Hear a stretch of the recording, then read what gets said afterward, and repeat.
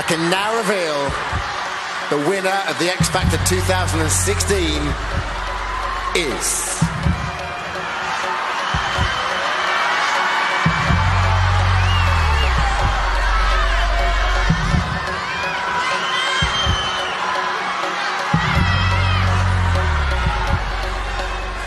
Matt.